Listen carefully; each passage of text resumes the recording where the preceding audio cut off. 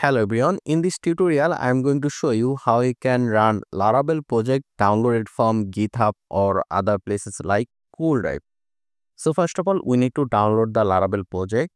So here in order to download the Laravel project from the GitHub we just need to go to the project repository then click on this code option and here you can see download zip option.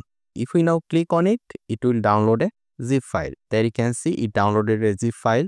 So right now we will go to the zip file location and this is the zip file that we just downloaded. So let me just cut this from here and we're going to paste it in the new volume app control v or you can also right click and click on this paste icon as well. After that we need to extract this zip file. Again just right click on this zip file then click on extract all and we want to create a laravel project directly in the new volume app so let me just remove this name from here and we'll only keep the new volume app over here then click on extract. So it will start extracting our zip file. This will take a few seconds. Depending on the project size it may take a minute. So right now i will just fast forward the video and here you can see the extract is complete. Right now we will just go inside the folder and there you can see this is the laravel project structure. Now we need to write some command in the project directory. So in order to write the command we need to open a command prompt in the project directory. For it you need to go at the top then click here write here cmd press enter. It will open a command prompt. You need to write this command which is composer install then press enter and make sure that you are in the project directory. Then write this command and press enter.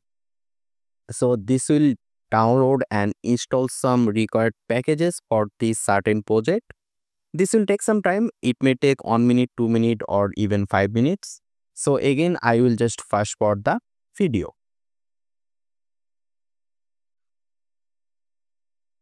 and there you can see the composer install command is done. After that we need to close this command prompt. And i want you to follow me exactly what i am doing okay? So we'll close it. After that we need to open this project using a code editor. You can use any code editor like visual studio code or sublime text. I'm going to use visual studio code. So let me search for visual studio code. And i'll open the project in the visual studio code which is this one First of all, you need to go to this .env.example file and we need to rename this file. In order to rename it, just right click, then click on rename and stop env.example. We are only going to say here .env. So we'll rename our file to .env. After that, we're going to change our database name. So the database name will be let's say example underscore let's say git or anything. Uh, you can give the database name anything you want. So make sure that you first give your database name. After giving the database name we're going to write a command. So make sure that you first change the database name. Then again we'll go to our project directory which is this one. We'll open another command prompt. And we're going to write a command here php artisan key colon generate. And make sure that before you write this command you change the database name. And then press enter. So this will generate a key and you will see the key over here. Your key will be changed. After that again let me just go to the project directory. And here you can see this is the project that we just downloaded. So in the project the SQL file may be included or may not be included. If the SQL file is included, then that's great. But if the SQL file is not included, then what you need to do is that you just need to go to the command prompt and you need to say here PHP artisan migrate. But before that, you need to open your XAMPP. So I'm going to go to the XAMPP control panel and let's start the Apache and MySQL.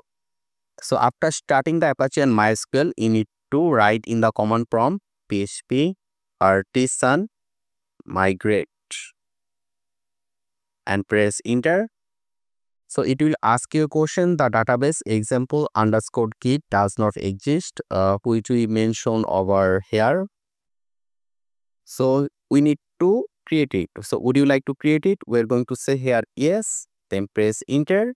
So this will create a database and it will also migrate those table in that database. After that, we can just say here PHP artisan serve and press enter this will run our project. Let me just copy this, Control C. Let's go to our browser, paste it here and press enter. And there you can see this is our Laravel project that we just downloaded from the GitHub and we are able to successfully run it. And let me just go to the XAMPP dashboard, then phpMyAdmin over here. And the database we created was uh, example underscore git this one and we just directly migrate it uh, using a command using this command php artisan migrate but we have the sql file over here in our project since we just directly migrate it uh, it means there is no product data coming from the database right so what i'm going to do is that uh, let's say that you have a SQL file included with your project. In that case, uh, let me just drop those table from here. There you can see our example underscore git database is empty right now. So we are going to import this SQL file to our database. For it, here just click on the database, then click on import and here you can see a choose file option.